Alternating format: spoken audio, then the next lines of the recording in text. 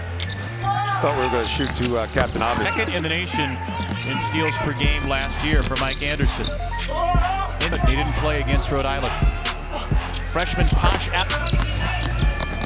Alexander. Mm. You know, I broke my back my senior year in high school too, so so when I came into college, you're able to go a little bit more east to west with a Euro step than anything else. Fundamental, but free.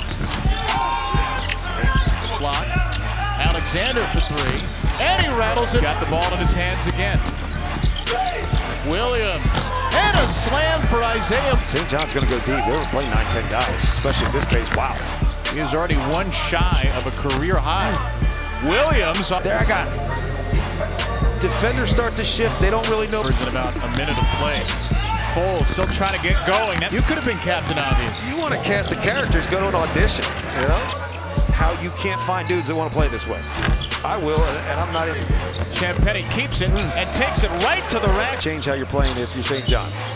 BC's got to do something that changes the, the whole... Any in the way. Posh Alexander with a bounce. Champagnie is fouled. He rolls it home. What a show this has been for the Red Storm.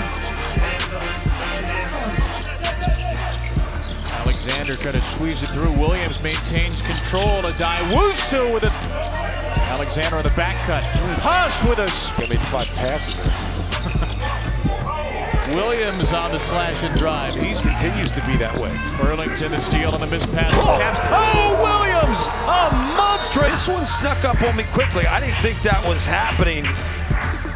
But wow, Sage. Williams feeds Addae-Wusu. The freshman, Dylan Addae-Wusu. Champagnie.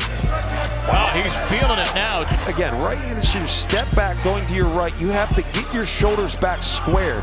If you rebound to Tabbs, he'll step out. Tabbs smothered, and the ball picked up by Champagnie. A smothering play. He gave Tabbs no room in the corner, and St. John's has all but sealed the win.